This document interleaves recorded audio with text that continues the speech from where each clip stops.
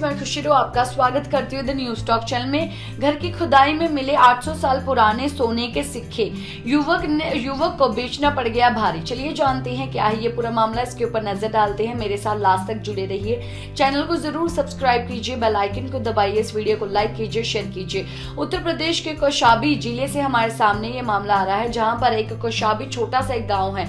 वहाँ पर मुकेश, पुरी नाम का एक व्यक्ति रहता है। उसके घर के एक्चुअली में रिनोवेशन चल रही थी, जिस दौरान ही नींव रखी जानी थी और नींव रखते वक्त खुदाई चली और खुदाई के दौरान बताया जा रहा है कि मुगल जमाने के एक्चुअली में 800 साल पुराने सिक्के वहाँ पर सोने के सिक्के मिले हैं, जो कि कुल 171 बताए जा रहे हैं। और उसके बाद जब मुकेश को ये सिक्के मिले, तब उसने अपने दोस्त के साथ जाके सरफा बाज़ार में इसको बेचने के लिए वहाँ पर देखा। तो वहाँ पर जब वो बेचने के लिए गया, तब वहाँ पर किसी ने और ने बताया कि इसको एक्चुअली में दूसरे बाज़ार में ज़्यादा रेट में एक्चुअली में बेच सकता है और उसको ज़्यादा पैसे मिल सकते हैं। धीरे धीरे ये जो बात थी वो आग के जैसा फैल गई और उस दौरान ही पुलिस को इसके बारे में पता चल गया और पुलिस ने जब वो ये सिक्के जो है बेचने जा रहे थे, उस दौरान ही उनको गिरफ़्तार कर लिया। गिरफ़्तार करने के बाद मुकेश से बातचीत की गई तब मुकेश ने बताया कि उसके घर के ज़मीन में ही ये सिक्के मिले हैं, ये सिक्के उसी के हैं, पर पुलिस का कहना ये है कि ये सरकार का खजाना है, ये उसका नहीं हो सकता है और उस दौरान उसको गिरफ़्तार कर लिया गया है, जेल भेज दिया गया है और जो सिक्के हैं उसको बरामद कर लिया गया है और निरीक्षण के लिए भेज दिया गया है।